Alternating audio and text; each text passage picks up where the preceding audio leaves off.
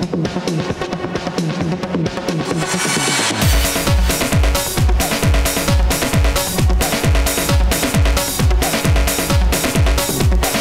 башни. Здравствуйте! Сегодня наша история о людях, которые жить не могут без приключений и воды. О них, о туристах-водниках. Пора. Собирайся скорее. Мы что-то бездарно стареем. Пора разобраться пареям и рвать якоря. Уходим сегодня, ребята, туда, где шумят перекаты, покатим. Уже за окном полыхает заря. Уходим сегодня, ребята, туда, где шумят перекаты, покатим. Уже полыхает заря. Очень часто эта история начинается со студенческой скамьи. В этом возрасте хочется романтики, высоких отношений и верных друзей. Рев порога и трехдневная щетина дополняют образ, создают идеальную картину. В человеке все должно быть прекрасно. Сообщество туристов, независимо от того, это водный туризм, лыжный, горный, сообщество туристов – это своя какая-то совершенно, совершенно увлеченная каста людей. И попавший сюда раз, попавший в это окружение один раз, увидя те красоты, которые мы можем видеть в походах, невозможно не остаться. Потому что здесь в жизни этого не увидите. Нет такого никогда. Здесь люди, цивилизации, дороги, магазины, а там дикая природа, и ты наедине с ней. И ты, и твои товарищи. В туризме собраны самые верные, самые добрые друзья. Э, Потому что нам приходится надеяться только друг на друга. Это тайга, это природа, это маршрут, где порой на 100, на 200 километров нет никаких средств передвижения. И мы, уходя на такой маршрут, можем надеяться только друг на друга. Вот, наверное, вот это братство, родство, ценность, ценность вот этих отношений в туризме, она и сильно привлекает. И она затягивает, потому что это своя особая жизнь. Рафтинг. Наверное, самый популярный вид экстремального времяпровождения в нашей стране. Образ мужественного покорителя порогов, с прожженной на спине штормовки дырой, с веслом в одной руке, с гитарой в другой, на плоту. Предел мечтаний тысяч людей. А если говорить серьезно, это не только походы.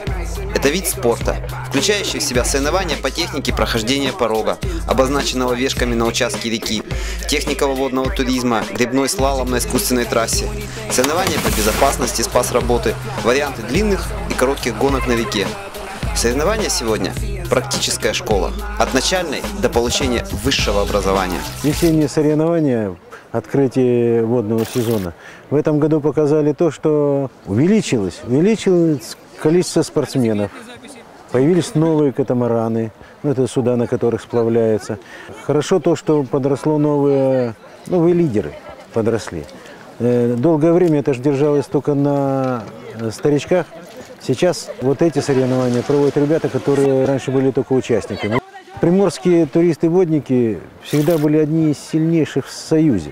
Сейчас приехали просто в гости э, Марчак, Оселедец, это бывшая команда Дальзавода.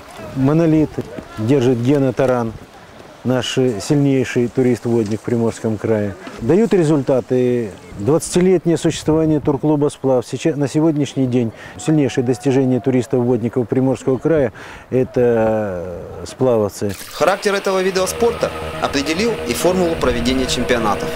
Команда спортсменов сама выбирает маршрут, сроки его прохождения, состав экипажей, проходит реку, пишет отчет. Так были пройдены все реки нашей страны, составлены лоции и описание всех препятствий. Сегодня непройденных рек нет. Тупик? Есть непроходимые реки, водопады и пороги.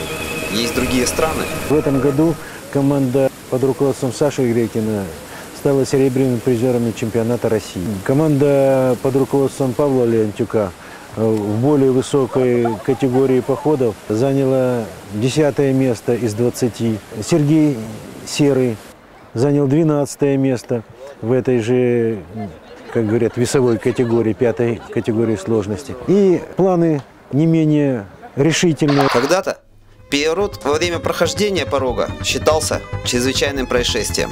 Шел в незачет. Сегодня надо уметь грамотно проходить препятствия, а в случае переворота быстро и четко ликвидировать ситуацию с минимальными последствиями. Так родились соревнования по спас-работам. Единственный реальный полигон сегодня – наша Кема. Любимое место любого приморского водника. Наша гордость. Наш Можой. Нам Москва, Центральный совет, доверил проводить зональные соревнования по технике водного туризма. Это на Кеме. Соревнования совершенно уникальные по правилам, по методике проведения. Нигде, пожалуй, невозможно э, в России, да и в Союзе в бывшем, увидеть соревнования по спас-работам, когда катамаран вместе с экипажем сбрасывается со скалы. Очень зрелищное, но, надо сказать, все это делается безопасно.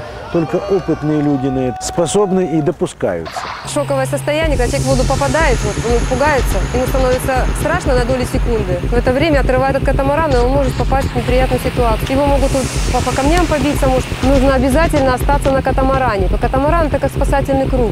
Если на катамаране остался, то даже самые страшные пороги становятся как бы не страшны, потому что ты внутри катамарана. Без башни. Гонка вооружений постоянно рождает новые конструкции лодок, катамаранов, системы обеспечения безопасности и защитной экипировки. Это определяет стиль и методы работы на маршрутах. Ведь самые ценные реки текут в высокогорных районах Памира, Алтая, Непала, Тибета. Текущая с ледников вода имеет почти нулевую температуру. Все это не добавляет комфорта спортсменам. Желание победы над собой и в чемпионатах заставляет спортсменов пройти непроходимые ранее пороги и водопады. Прыжки с водопадов 30-метровой высоты, прохождение каньонов, где пороги видны только с наплыва. Вот такие требования сегодня. Вся подгонка снаряжения начинается еще на берегу. Есть катамаран, есть снаряжение, есть пажилет, есть шлем. Мы садимся в катамаран и начинаем подгонку. То есть подогнал одну, вторую, вот, проверил посадку на катамаране, как ты садишься, как ты это контролируешь. Один из приемов таких при, при переворотах есть. Я должен вот уйти вот, хоп, пронырнуть, хоп, вот туда. Если что-то случается, да, попадает веревка там какая-то. Стропоез должен всегда быть под рукой. Если веревка альпиниста спасает, то нас, э, водников, веревка в воде – это опасная вещь. Веревка неконтролируемая в воде, которая не контролируется, она губит. Это однозначно. Это уже все правила написаны кровью. 33 сезон у меня, очень много я могу рассказать об этом. Мировое речное хозяйство разбито на 6 категорий сложности. С первой по третью категорию входят несложные горно-таежные реки, очарование пейзажа которых сочетается с учебно-тренировочным потенциалом для начинающих спортсменов, семейного отдыха и коммерческого сплава. Четверки-пятерки – это спорт, школа спортивного мастерства, воспитание и открытие в человеке новых качеств. Шестая – самая сложная. Их не так много, и каждая из них вызывает у водника сложные эмоции, воспоминания о пройденном или непреодолимую жажду пройти этот маршрут с самыми лучшими в мире друзьями. Несмотря на такой простой подход, любая река абсолютно неповторима и уникальна. Шестеркой может быть Памирский монстр с водой кирпичного цвета и расходом в тысячу кубометров в секунду, или Критинговый каньон где-нибудь в Норвегии, состоящий из одних водопадов, шириной реки 3-4 метра. А может быть затерянный мир Плата Путарана. Туристы-водники получают возможность совершать походы в поисках приключений в любом горном районе, хранить воспоминания о персиковых садах над каньонами Тиньшаня, сосновых барах Алтая с зарослями облепихи или удивленными мордами камчатских медведей на фоне вулканов. У каждого есть своя, любимая, самая-самая. В этом году э, Таня с группой молодых ребят, ну уже опытных, сильных, отправляются на соревнования на речку Чуя, на соревнования Мажой ралли. На Можойском каскаде очень сложная трасса, поскольку там очень э, мощная вода, при большом падении и может э, всякое случиться. В таких соревнованиях поучаствовать, это значит просто на ступеньку подняться по уровню. Конечно, есть спортсмены более опытные, есть спортсмены с лучшим опытом. Я не говорю, что мы самые крутые, самые лучшие спортсмены из туристов-водников. Ну, если есть желание, когда человек хочет, он очень многого может добиться. С этой командой мальчишек мы уже прошли четвертую, пятую категорию сложности. Я говорю, что мы прошли уже элементы шестерочные. То есть вот в прошлом году у нас была речка, Китой, которой мы прошли Моткины щеки. Этот каньон считается шестой категории сложности. Шестерка – это шестерка, это наша классификация российская. А международная классификация, у нее она более высокая. Есть такая речка, как Брахмапутра, Арун – это Гималаи. Это самые сильные, самые мощные реки на нашей земле. Я там не была, но очень хочется. Мы клуб называли Арун, можем сказать, в честь второй реки на нашей, на нашей земле. Как по мощности, по силе. Это как Эверест для горников, для альпинистов. Без башни. Если говорить о нашей команде, это, я считаю, уникальная команда, которая сложилась не так вот мгновенно, сразу. Это были люди, которые совершенно различные люди. Мы как начали вот, вместе вариться в одной каше, а, связались, испытали себя во многих ситуациях, на воде, на реке, на реках, на велосипеде, то есть везде. Поэтому то есть, это люди, на, я- на которых я полностью надеюсь и на полностью полагаюсь как на самого себя. Первая правая рука – это Вова Сидоренко. Он у нас такой серьезный, надежный, ну просто до безумия порядочный, хороший человек. Оно бывает вот, да, перед походом. Такие радужные картины, там скоро в поход. Как встали на тропу, за плечами 40-45, идешь и думаешь, на работе так не работаешь за деньги, как в этот поход, корячишься. Потом приходишь на реку, садишься на воду и пошел. Там куча эмоций, потом это все, все трудности потом забываются. Дениска. Когда экстремальная ситуация, я знаю, что на него положиться можно. Саша Гладкий. Он из нас, наверное, такая, была самая загадочная такая серая лошадь. Когда я его в команду пригласила, не знала, что от него ждать. Он ходил очень такой смурной, он никогда свое мнение ни о чем как бы так вот резко не высказывал и никогда не говорил лишних слов. В результате оказалось, что очень даже хороший человек. Вот, Вова Суриков у нас, новая такая у нас звезда. Мы тут пытались его отправить на одни соревнования, на другие соревнования.